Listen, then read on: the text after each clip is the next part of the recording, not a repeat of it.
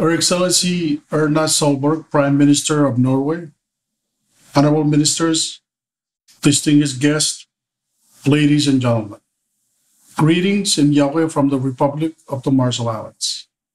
First and foremost, on behalf of His Excellency President David Kabua and the people of the Marshall Islands, it is my privilege and honor to acknowledge Her Excellency Prime Minister Erna Solberg of Norway for her message in this formal high-level meeting on the Blue Justice Conference in this virtual setting in the midst of pandemic.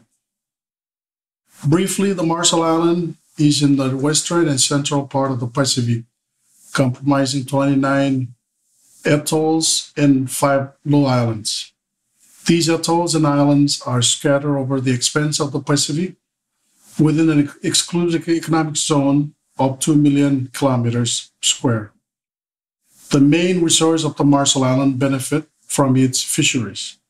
Over the past years, with the assistance of partners, including regional organizations as Pacific Island Forum Fisheries Agency, partners to the Nauru Agreement, Western and Central Pacific Fisheries Commission, and the Secretariat of the Pacific Community, the Marshall Island has benefited greatly in maximizing our tuna resources in a way that is sustainable. In the interest of time, I wish to draw your kind attention to three main progresses and challenges that have surfaced here in the Marshall Islands. First, the ongoing challenge in combating illegal, unreported, and unregulated fishing in our jurisdiction towards an IUU free Pacific by 2023.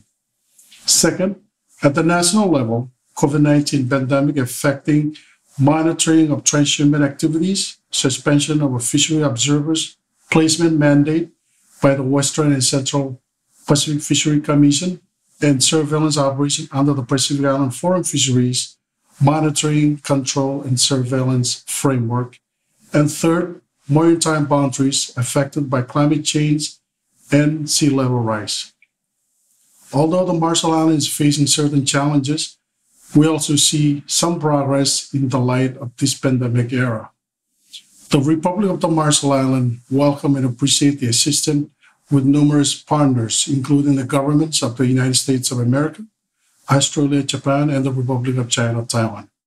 Most recently, both the RMI and Republic of China, Taiwan were accorded with the annual ceremony of two coastal patrol boats in which greatly assist our capacity within the Sea Patrol Division in our efforts to monitor our border control and integrate their enforcement operation within the E zone.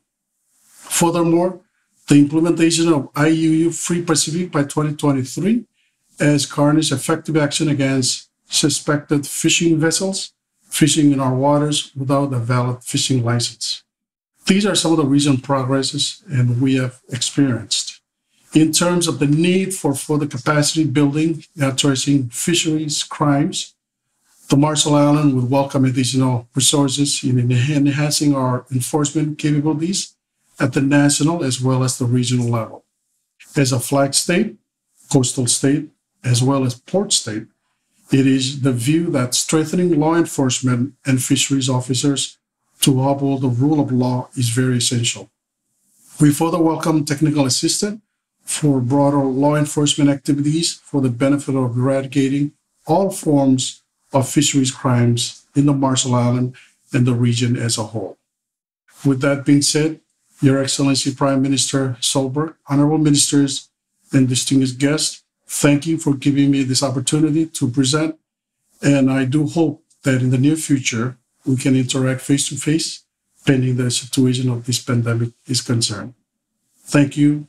conmutada.